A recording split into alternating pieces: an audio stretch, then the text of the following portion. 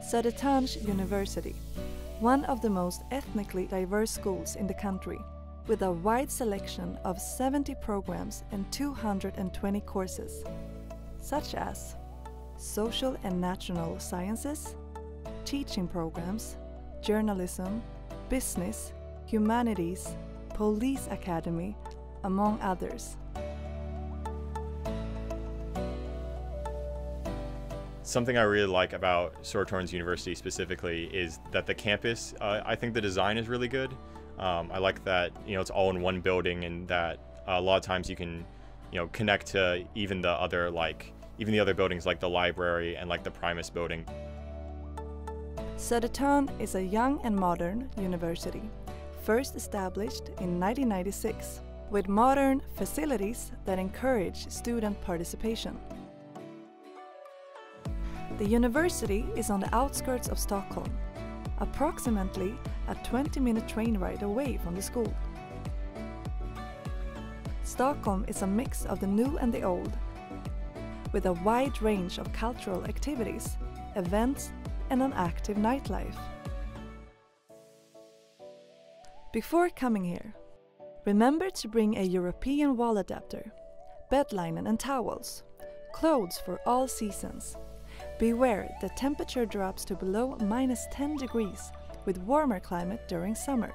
It's also essential to bring your passport, European healthcare card and a credit or debit card since stores in Sweden usually only take card and phone payments.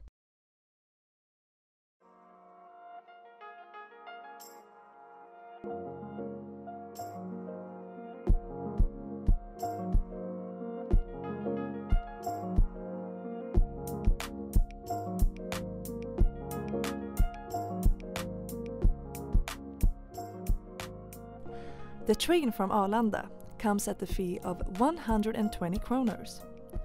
All public transport in Stockholm is accessible through the SL card, which costs 590 kroners and lets you travel freely as much as you want for a one month period. Make sure to download the SL app to easily find your way around the city. I'd say the city center, which is where I spend most of my time, is very walkable, uh, and the the train system is fantastic. You know, with the SL card, you can get you know anywhere, take any of the trains, buses. So not having to worry about that, just being able to scan into basically anywhere to get somewhere uh, is definitely very handy. I take the the Pendeltåg into the city center probably every day.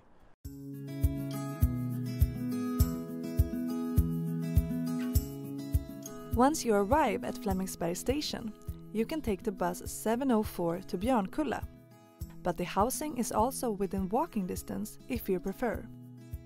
You will receive your keys when you arrive there. The average living expense per month is as follows.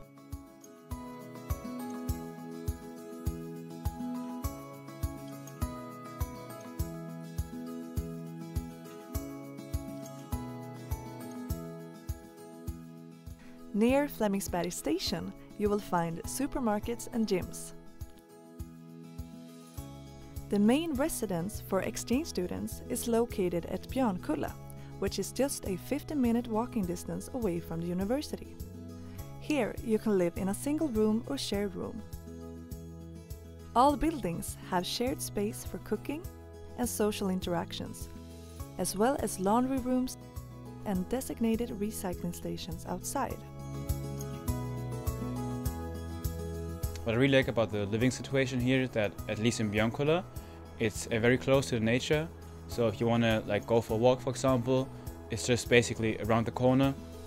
And in general, I feel like living here um, is much more in touch with the nature.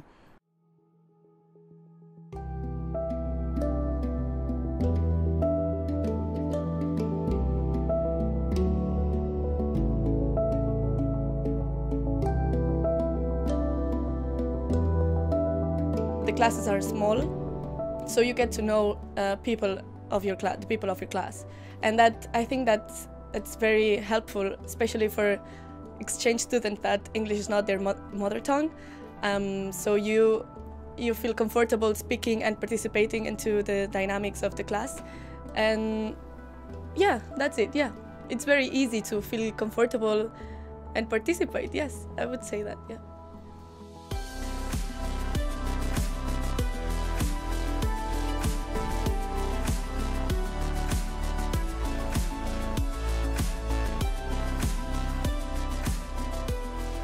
The experience of being abroad is that you get to meet a lot of new people that you wouldn't meet if you were in your hometown. Experiencing other uh, traditions or just lifestyles is so easy and it's I think it's very interesting and you can learn a lot about this.